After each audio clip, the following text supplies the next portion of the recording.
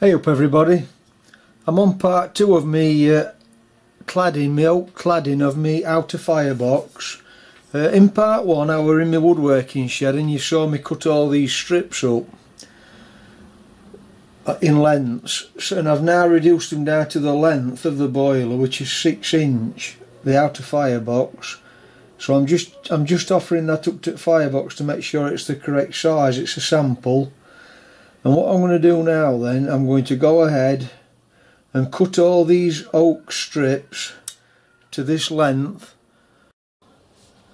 I've got my mitre saw set up and clamped to my, to my workbench and I've put a stop on it at exactly 6 inch so that they're all going to come out the same. And what I'm going to do I'm going to I'm going to cut them four at a time. And I've got a fine tooth uh, blade in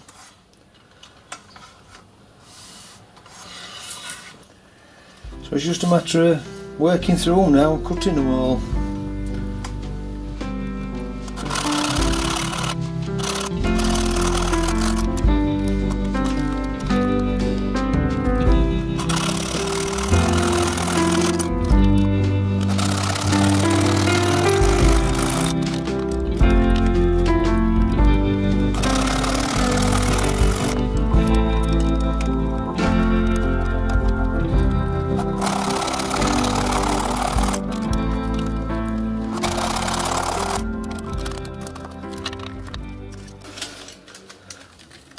That's them all cut to length.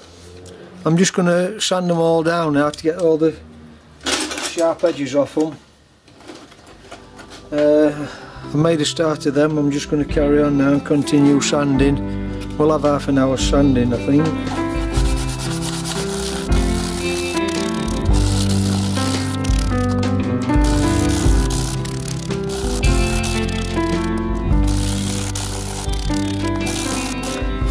Managed to get them all sanded now. Um, so important part about sanding them really is just three sides. As long as you get three sides you know uh, nicely finished because the underside for example that one where my saw cut my circular saw cuts slightly burnt the wood don't matter about that because that's going flat to boiler. You're not going to see that. I've just got to uh, do a couple of things and I'll explain uh, on this drawing. Right so I'm going to make, make a start of fitting the the uh, the cladding from the centre line of the top of the boiler. So this is looking on an end view. So in the boiler you'll remember there's three sol silver soldered bushes. I'm going to do then I'm going to start from the centre line at the top and the centre the centre one I will have to cut it to, to fit in between the bushes. The next ones that's going to start me coming around my radius I've got to then file or machine or cut or whatever you want to do sand fret saw put a radius at them positions. Put your cladding on mark the centre line, measure the depth that you've got to put the radius in. These bushes on mine are 7 eighths. Just got a 7 eighths washer, 7 eighths diameter. I'm going to put a line on the wood to the depth that the want, I want the radius to be. And then where I've marked where my bushes are,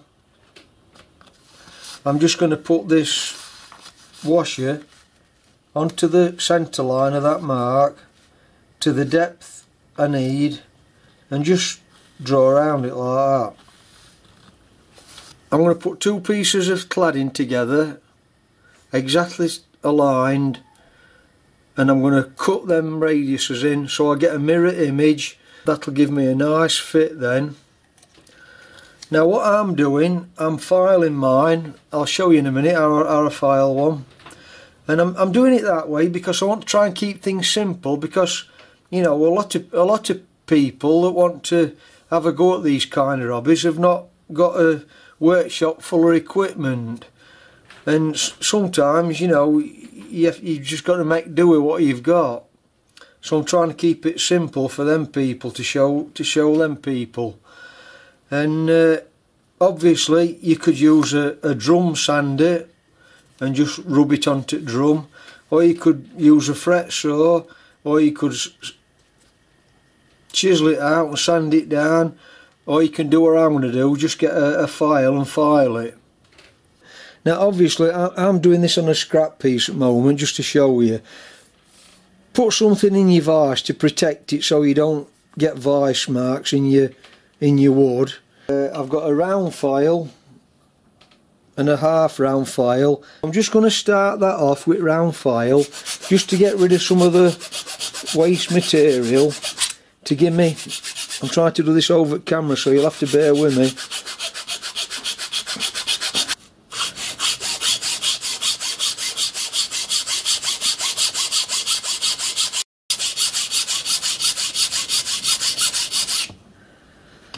That's it.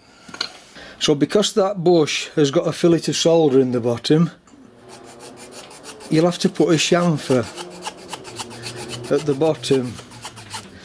Now it don't matter, it, you know, it's not critical that, because nobody's going to see it. And then when you've done that, you'll end up with this. This is the one I've done for mine.